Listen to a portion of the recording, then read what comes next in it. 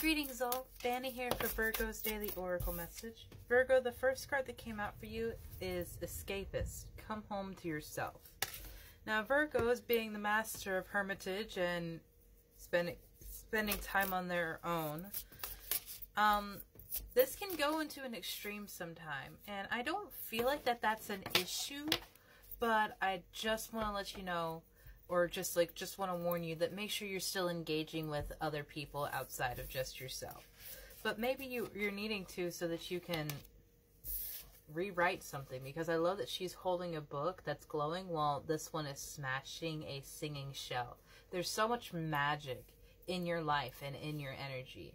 And if you have to recreate yourself, I don't think that you'll have a hard time doing that.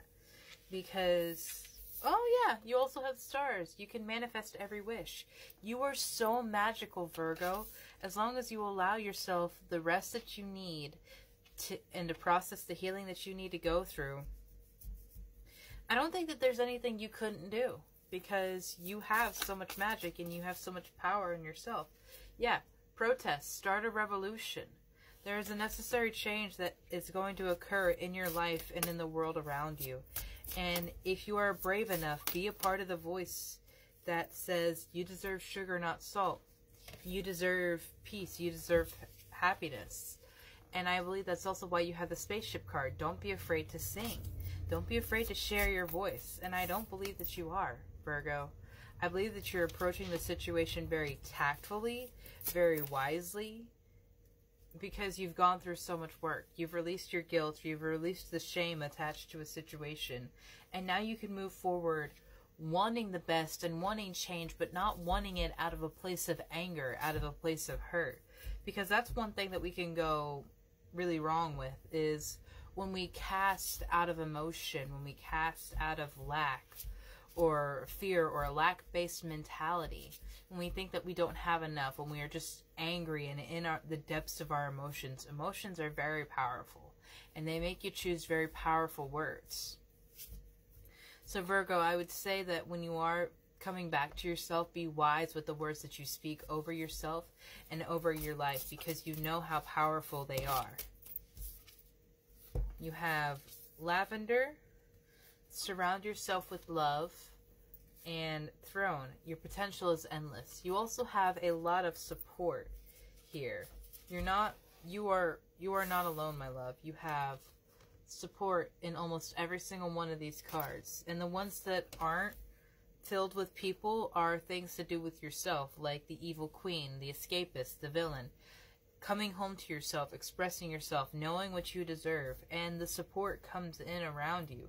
You will not be alone in this endeavor. Even if you feel you are alone in the physical world and you don't have anyone to walk beside you materially, metaphysically, spiritually, you have an entire army of people that are ready to work with you, ready to answer your wishes when you pray to them because they know what you're capable of. They know your power. And as you're coming back to figuring out that yourself, as this storm is ending, they're going to be here for you to support you, to give you back your crown, to show you your power, to show you your magic and what you can do with this world and in it. Because you are absolutely amazing, Virgo, and you deserve to have a place where your voice is heard because it's a very important one. Your perspective is one of love is one of care, is one of truly trying to make a change that makes people feel more powerful and in control of their lives. What did I just say? Make the change. Make the change in yourself. Make the change in the world around you. It will all start with how you are thinking, how you are feeling, the mentality of it all. It's like, I can't remember who said it, but to manifest a world without war th- you cannot be raised with that in your vocabulary. That's not the exact quote, but it's that kind of general energy. If you are wanting a world without war, if you are wanting a world without hate, then that's not what you need to be focusing on. You need to be focusing on the exact opposite of that and make that your everyday reality. Make that everything you want. Because that's one thing that people, yeah, weave together a crown that you deserve. That's one thing that gets people caught up when it comes to manifestations is that they think, like I don't want this thing, so I have to focus and look for it so I can avoid it. But that is only bringing more of it into your life.